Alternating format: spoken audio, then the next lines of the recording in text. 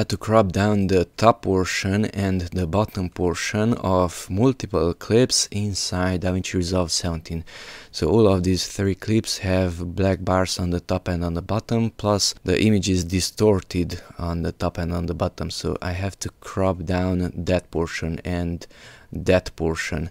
To do that, let's just click on a clip and go here to the inspector and take a look at the size of the clip here at file. So the resolution is 3840 by 1920. Windows and R type in notepad and I will write that down so 3840 by 1920 now go here to the media pool and here we have timeline right click on timeline timelines timeline settings and uncheck use project settings.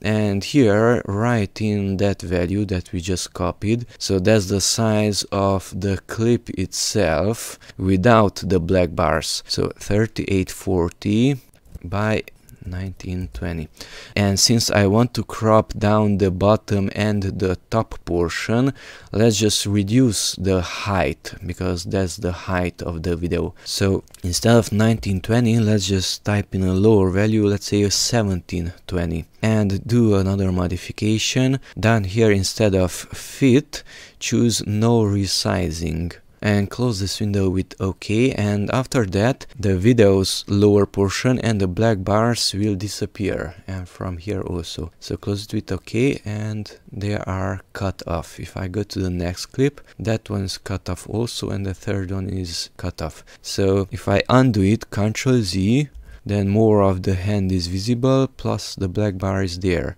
Redo with Ctrl Shift Z and those are missing. If I grab it out, notice there is nothing under the video. The same for the third clip, Ctrl Z, here the hand is visible and it's highly distorted plus the black bars, Ctrl Shift Z and most of the hand is missing and the black bar is missing.